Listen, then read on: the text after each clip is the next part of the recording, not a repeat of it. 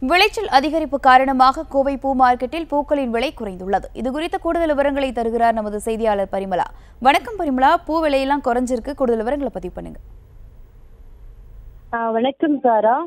கோவையை பொறுத்தவரை பூ விளைச்சலானது அதிகரிப்பால் தற்போது உதிரி பூக்களின் விலையானது குறைந்துள்ளது. கோவை பூ மார்க்கெட் பகுதியானது எப்பொழுதும் பரபரப்புடன் காணப்படக்கூடிய ஒரு பகுதி. இரவு மற்றும் பகல் நேரங்கள் எந்த நேரத்தில் போனாலும் பூக்களானது கிடைக்கக்கூடிய ஒரு பகுதியாகவும் தான் பூ மார்க்கெட் உள்ளது.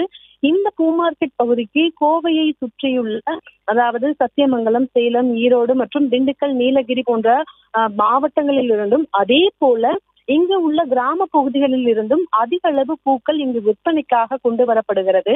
இந்த நிலையில் சித்திரை மாதம் என்பதால் பூ உற்பத்தியானது அதிகரித்து இருப்பதால் உதிரி பூக்களின் விலையும் குறைந்துள்ளதாக வியாபாரிகள் தெரிவிக்கின்றனர். இதன் காரணமாக மக்கள் அதிக அளவு பூக்களை வாங்கி செல்வதாகவும் கூறியுள்ளனர்.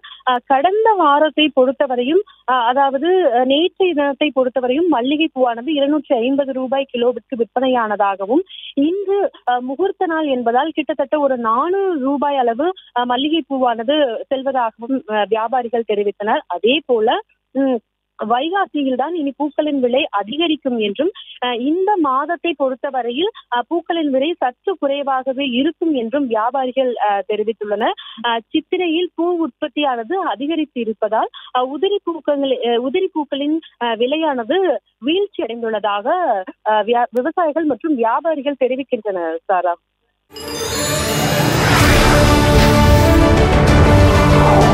ஃபேவரட்டான நியூஸ் தமிழ் சேனலை டிடிஹெச் சர்வீசஸ்ல பார்க்க ஏர்டெல்ல இந்த நம்பர்லையும் டாடா பிளேல இந்த நம்பர்லையும் டிஷ் டிவில இந்த நம்பர்லையும் பார்க்கலாம் உங்களின் குரலாக உங்கள் சார்பாக அனைத்து திசைகளிலிருந்தும் நடுநிலையான செய்திகளை அறிந்து கொள்ள ஸ்டே டியூன்ட் அண்ட் கீப் வாட்சிங் நியூஸ் தமிழ்